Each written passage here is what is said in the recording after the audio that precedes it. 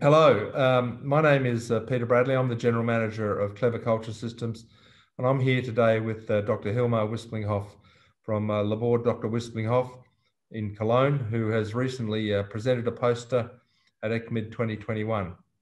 G'day, Hilmar. Can you tell me, you know, in um, bite-sized chunks, what uh, the uh, overview of the poster was and uh, the summary of the findings that you presented?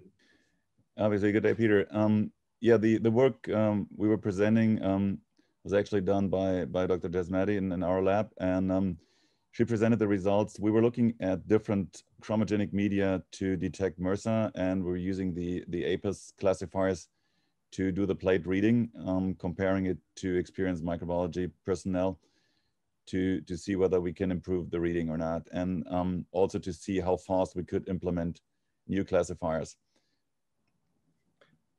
So Hilmar, you worked uh, very closely with the Clever Culture Systems teams to uh, to develop this mo module. What was your experience like working with the team? Um, you have a terrific team and a lot of very dedicated people.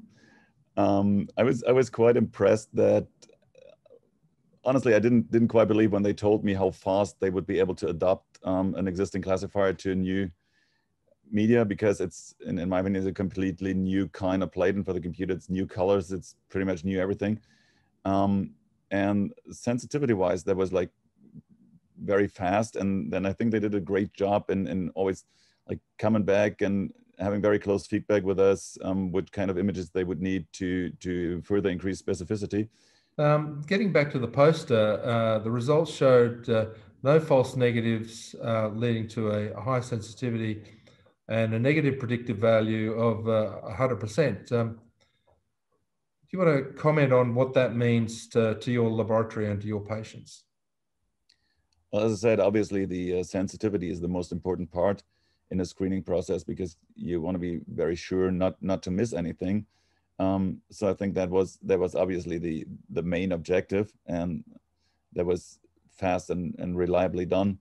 Um, from a laboratory perspective, obviously, um, it's very nice to have a very high degree of specificity as well because it eliminates additional work in the laboratory. And I'm glad to say that we were able to improve that quite a bit over the short period of, of time we did this study.